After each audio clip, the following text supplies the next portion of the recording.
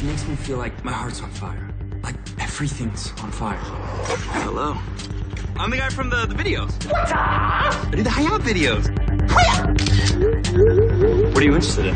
Art, reading, women's rights. Let me take you out. I'm just not interested. In, interested in me? Yes. She said no, bro. You want a hug? No, I don't want a hug. We're at a skate park, man. It doesn't matter how lazy, stupid, or uncultured you are. If you have a pretty face, people love you. So you're like into uh, like art and culture and stuff? And stuff. Oh, bro, I totally shut down your sexy No, you didn't. No, you didn't. No, you didn't. I did. You want me to be you online? Yes, bro. You blow her away with how dope my brain is. I swoop in IRL and feel the thing. We'll have you follow Cornel West, Slavoj Zizek, and Lena Dunham for some of their weird feminism. Hi, uh, Chris Newton knows what art is. How's a bicep, bro? He's actually kind of a renaissance man.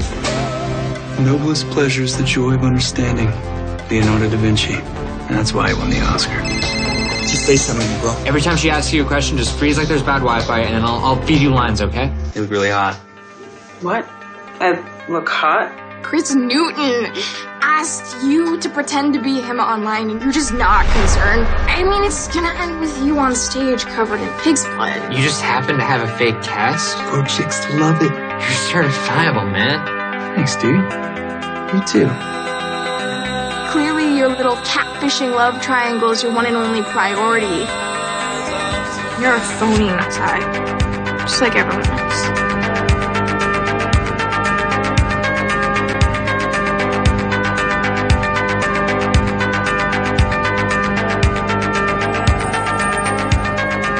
It is way more beautiful to watch a rhinoceros be a rhinoceros than try to be an elephant.